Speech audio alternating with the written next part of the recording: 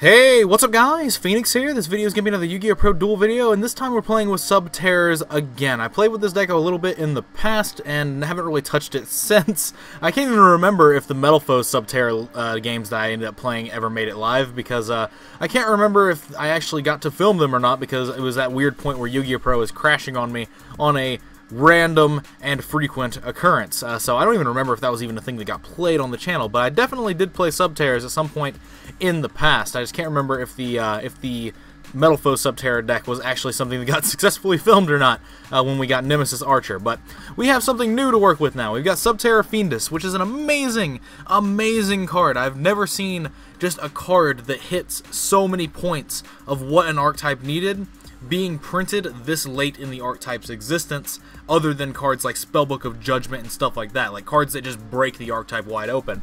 Now, whether or not this will happen for this archetype, I'm really uh, skeptical. I don't think that this one card's specific in applications for this deck are going to allow it to just push this deck over the edge of like being literally garbage tier uh, because that's basically what Subterrors have and are like being in the game. Uh, but this is an experimental deck list. Um, there's basically no real reason to run like Nemesis Archer and stuff like that in a list like this. Um, Fiendess literally is like the starter card. It is what we've been wanting for literally sets it's surprising that we've gotten this during the last set that the Subterrors are being printed in, but I mean, I guess, whatever. Uh, but Subterror Fiendess is a one-for-one -one target, so it's a level 1, it's a normal summonable monster that can be searched off Hidden City, which can flip itself face down, which is great. It can also flip itself face down and then summon Subterrors from your hand or graveyard in face down or face up defense position. So what that allows you to do is this has a lot of really cool applications. Like you can use it normal summon, you can search for it with Hidden City, you can normal summon it, flip itself face down, summon any of your big uh, behemoths out of your hand, essentially. You can summon them straight out of your hand in face down defense position off of this card's effect. Then you can use the Hidden City to flip it face up, apply its a flip effect, and then use its secondary effect that flips itself face down again in the same turn to essentially allow you to, you know, have a good bit of aggression in what you're able to do because of the fact that Fiendess can, like, let it summon itself face down. So you can summon it face down, flip it face up with Hidden City, and then flip it back face down with its own effect, and then spam the board with the rest of your uh, behemoths that you have in hand potentially. Uh, stuff like that. So like I said, this is an experimental build playing the Tara Tray engine because Tara Tray seems like the like strongest thing that this deck has to offer, essentially, uh, because this card is so inherently good with what you uh, you have with this uh, like little behemoth engine. Uh, if you're able to stick Tara Tray, then you're able to stick a lot of like pressure for the rest of the game. Uh, there's a lot of things that could possibly change about the deck list, but I don't know if Subterror Fiendess is a card that allows this deck to even stand on its own two feet in a metagame, especially not the metagame we have now, or the one that we're about to get in Maximum Crisis. I don't think this deck will compete with something like True Dracos, uh, specifically because of how slow it is. Like, flip-flop control is incredibly slow-paced.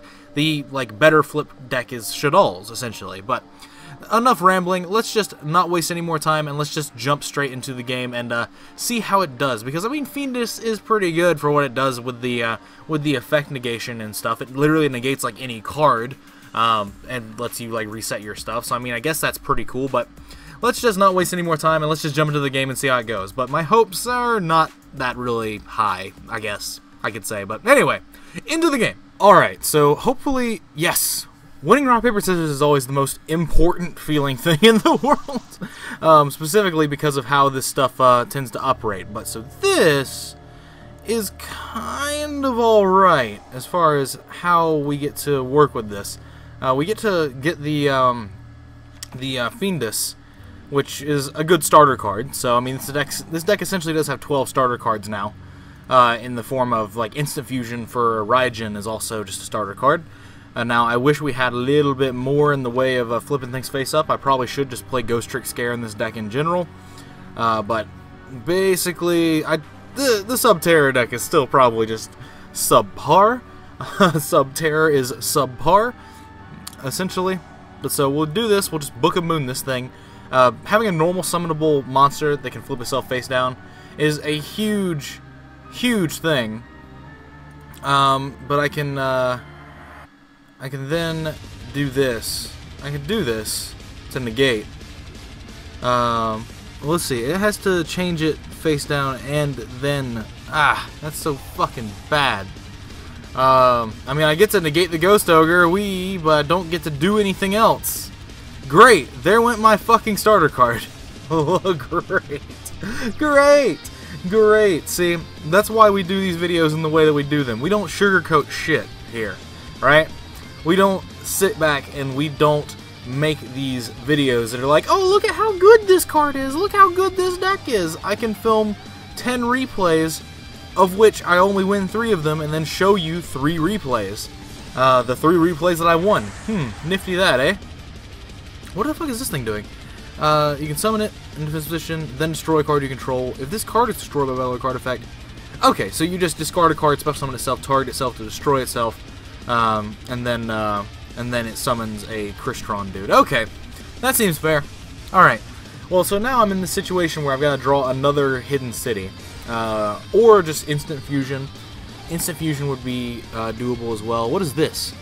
Uh, Let's see. The card from your graveyard, special summon Crystron from hand. Yeah, yeah. You can target a face card you control. You cannot special summon from the extra deck for the rest of turn set machines. Destroy this card if you do special summon Crystron Tuner from your deck. So, okay, I see. He's just loading up his graveyard with Crystrons and shit to use, I suppose. Uh, is the level 5 dude's uh, effect during either player's turn? Or is it just during your turn? It looks like it's just during your turn. Uh, and then this lets him banish it to special summon. Or, no, banish this card. This is the one that he discarded that's right. i am not super familiar with Crystrons. Uh, I'm aware of how broken their synchros are, uh, specifically the big ones. But, uh, and then they basically play on my turn, almost in depth, like entirely. Uh, but this thing lets him special summon a non-tuner in, in, the graveyard, special summon it, and then use synchro, and then uh, and then those synchro materials are banished, so you can't use grave effects. Okay, that's fair. Uh, but honestly, like, goddamn, how the fuck? I got Ghost Ogred on my monster that needed to flip face down to summon any of these from hand. I was gonna literally summon like all of them from hand, um, except maybe, except maybe uh, Ultramafus. I was probably gonna summon this and the Umastryx because I was gonna put this face down, special this from hand, off of this thing's effect, then book this, special the Umastryx, book it. Uh, it's still by no means like ideal as far as the situation, but still, like it's workable. It's workable, right? I did select a card to discard, so I'm just gonna I'm just gonna destroy this.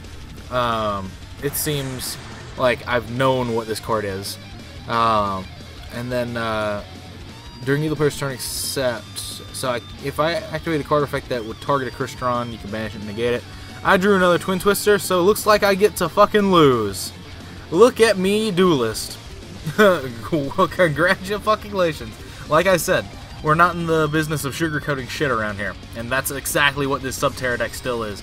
Even though Subterror Fiendess is still 100% a fantastic card, I don't think I've ever seen I don't think I've ever seen a better deck get a worse bit of support. Uh, or no, a, a worse I said that backwards. I don't think I've seen a worse deck get a better piece of support. Like ever. And he just black rose me for like almost no reason because what a wonderful life, but it's fine because he gets to he gets to use the um, the sulf uh, uh, sulfefnir, sulfefnir. All right, he just gets to use that over and over again. That's going to be his advantage-based engine. Whereas in my situation, uh-uh, I, I have no such luck. I have no such business. Um, but yeah, like I said, Subterror Fiendess is a fantastic card. Fantastic card in a shitty deck. this the, the joke is sub-terrors more like subpar, uh, suboptimal, sub everything. It's just not a it's not a decent enough deck to carry itself outside of Fiendess. Um, and the fact that like your one normal summon getting disrupted by something like a fucking Ghost Ogre, like what is that? Like what what an interaction! I didn't even consider that as an interaction when I was originally thinking about this deck. I was like, oh yeah, this this seems pretty alright. No, Ghost Ogre on any one of these is just, or the Fiendess is just a problem. Uh, so that's just a thing. Wee! I'm just gonna lose this one on the Lolo. Very easily and very quickly. Please, end my suffering!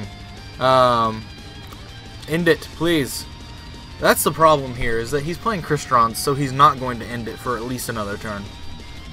Uh, oh yeah, look at that brick. look at this fucking... Look at this garbage ass deck! Look at this garbage archetype. Oh, and you can't even tell me that, oh, your build just sucks. Because it's literally playing like the best cards in the archetype maxed out. Uh, like, it's playing literally everything that it needs to be playing. That's so fucking dumb. Ooh, cell synchro. Why is this picture not loaded? Out of all the cards, why is that the picture that's not loaded? That's silly. That's silly and that's stupid. Why have you not loaded, my man? I mean, I know what you are and I know what you do. There you are. Hell yeah. Alright. That was a weird one. Please just fucking kill me. Please. Just fucking kill me. Christ. Please. I want it. I need it. I don't want to play this shitty deck anymore.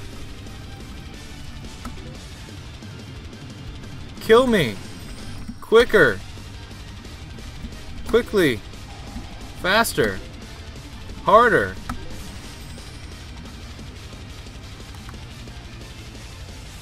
Please. For Christ's sake, kill me! Fuck! Stop trying to trish me. And just kill me.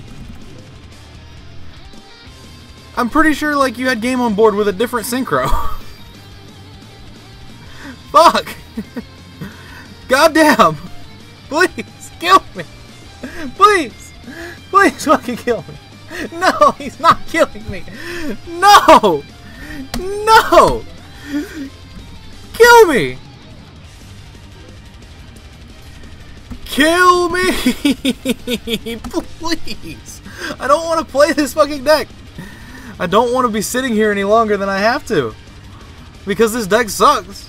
You get your starter card Ghost Ogre and you just lose the rest of the game because you can't activate another card for the entire rest of the duel. Uh, look, this card's not activatable. Fucking kill me! I can't even summon a card and like suicide it. I'm not gonna surrender because that's silly. That that puts up the false flag. Kill me! Kill me! Thank you. Please. For fuck's sake. I don't even know if I want to play this deck for another video or not. Like, goddamn. I just got Ghost Ogred and then was not able to play the rest of the game. I fuck. That's not even like I said. That's not even a card that I took into account for when uh when I was trying to like think of the deck. But like this deck is so ass. Holy shit. I feel like I have to play another game with this deck just so that I just so I get another result of this deck sucking dick even when you draw the best starter card in the deck period. Like holy shit. Um, like, I feel like this deck is good only if you open Broken, and that means you have to have a hand of, like, Terror Top and Pre-Prep and all this other nonsense. Fuck, that was not a feel-good time, but... Anyway, as always, guys, thanks for watching, and let me know what your thoughts are in the comments down below. I think Sub-Terrors are sub-ass. Uh, I think that the deck is absolutely terrible. I believe I exemplified it the best that I could have possibly said when I stated that I've never seen a worse deck get a better support card. Like, the deck is absolutely terrible. It's like Konami forgot how to print TCG exclusive archetypes after doing it right for so long, and then they print a broken card for it that does not offset the fact that the rest of the deck sucks. So, like, we, we have some problems here, but be sure to like and subscribe and check out the links in the description to my Facebook and Patreon pages. If you want to help support me directly, then Patreon is the best way to do so. It also gets you access into a monthly raffle giveaway at the end of each month, so definitely check out the details of that over on Patreon. At the end of this month, I'm giving away a box of Maximum Crisis. It'll be about a week into May once the set hits stores, but I'm doing a giveaway for a box of Maximum Crisis if you're interested, then definitely go check out Patreon. And also, one of the reward tiers gets you access into my Discord server, which is where Earthworm came from, and that's exclusively who I play for these videos, unless I'm like live streaming or something. But if you're looking to buy or sell while also indirectly supporting the channel, then be sure to check out Second Chance Gaming's website, which is also linked in the description. They are a direct sponsor of me and this channel, and I'm a big fan of how they do business with what I've dealt with so far. Definitely check out their site and let them know that Phoenix sent you. But other than that, that is it for this video. Again, thanks for watching, thanks for your time, and as usual, guys, take care. I have no idea if I'm going to play this for another video or not. I feel like Black Wings is a better deck than this one currently in the format, because at least that deck tries to do something, and that deck has starter cards. But anyway, goodbye everybody.